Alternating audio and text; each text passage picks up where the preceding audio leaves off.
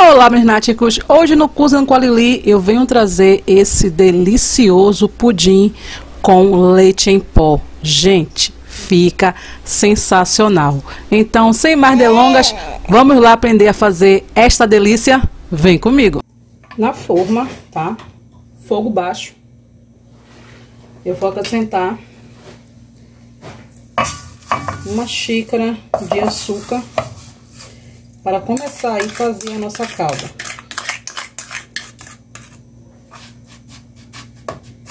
Não precisa ficar mexendo, tá? E vou deixar esse açúcar aqui começar, você viu que já começou, né? E eu baixei o fogo. Deixa eu ver.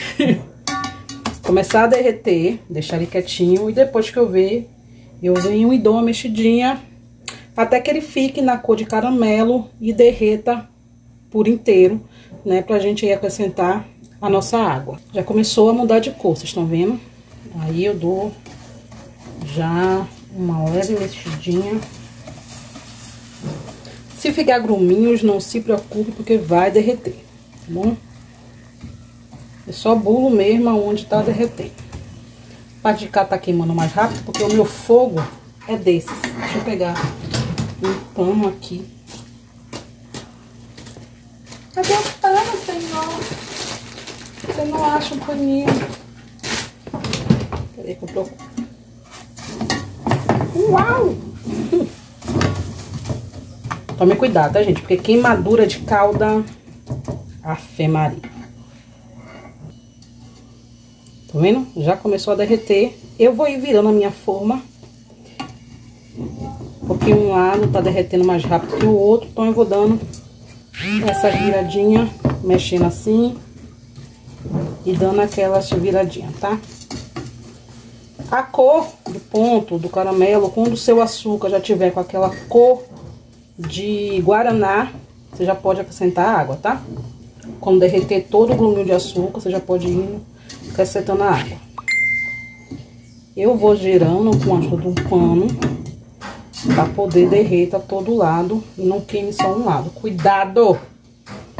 Calda pra se queimar é rapidinho. Eu vou trocar de colher porque a minha colher está derretendo. Vamos dar colher de pau.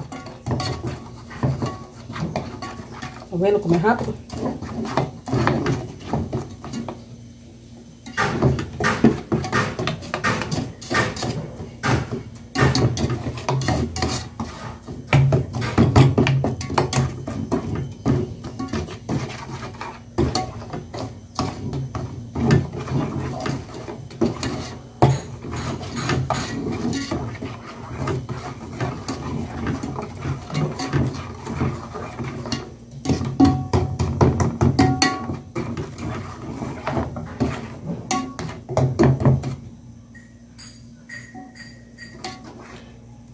Agora que o meu açúcar já derreteu e não tem nenhum gruminho de açúcar, eu vou colocar água aos poucos. Gente, muito cuidado nessa hora, tá?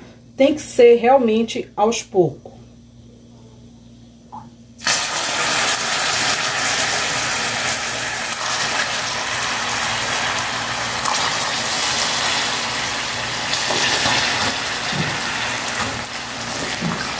Eu coloquei mais ou menos uns 150 ml de água, tá?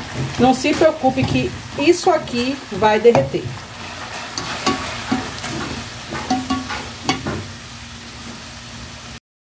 Bom, meninas, nossa calda já tá pronta, já diluiu, só ficou só esse pedacinho aqui de grãozinho de açúcar, mas o açúcar já diluiu todo, tá?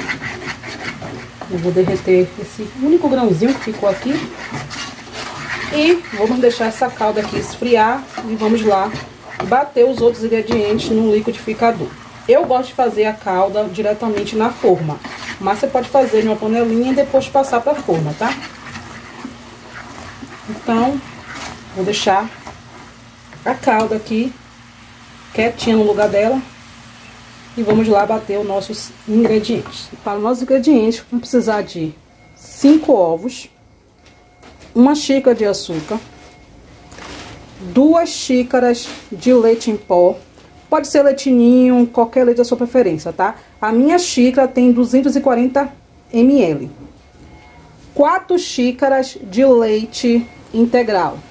Como eu falei, a minha xícara que eu medi o leite e o leite em pó e o açúcar tem 240 ml, tá?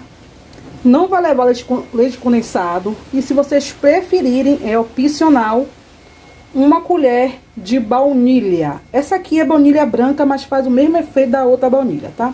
Então vamos lá bater tudo isso aqui no liquidificador.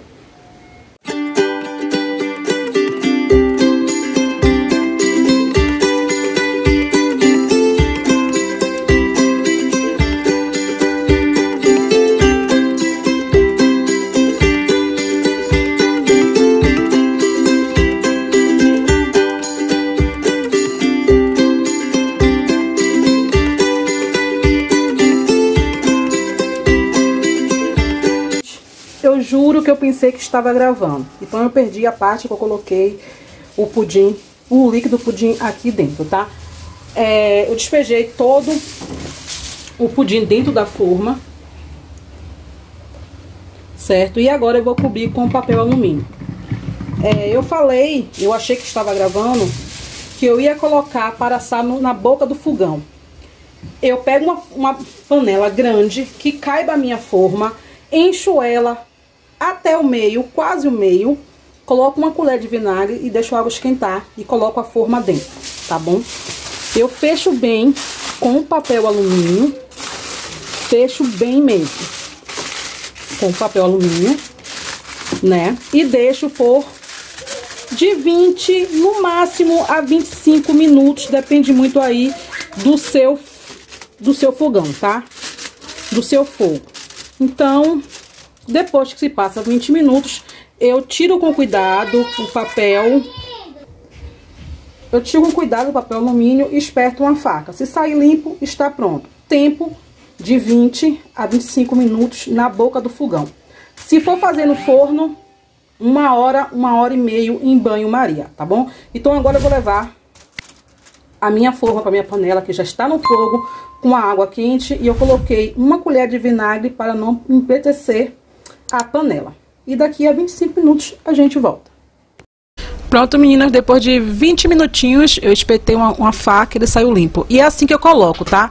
Um pouco de água na panela e coloco a minha forma e deixo lá de 20 a 25 minutos. E ele fica assim, bem assadinho, certo? Bem cozidinho. Aí agora vou esperar esfriar totalmente e levar para geladeira.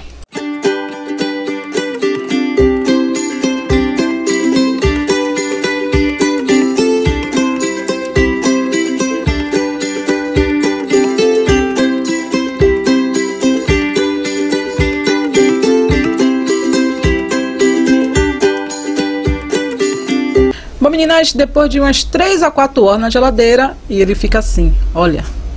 Dessa vez eu acertei na calda, né? Olha a cremosidade desse pudim e não precisou levar leite condensado. Super fácil e rápido aí para vocês. Olha que delícia. Vocês podem usar qualquer leite em pó da sua preferência, tá, meninas? Fiquem à vontade. E tá aí, mais uma receita para vocês, mais um Cozinhando com a Lili. Eu espero que tenham gostado. Se você já fez esse pudim leite em pó, deixa aqui nos comentários que eu quero saber o que vocês acharam. E até o próximo vídeo. Beijo, beijo.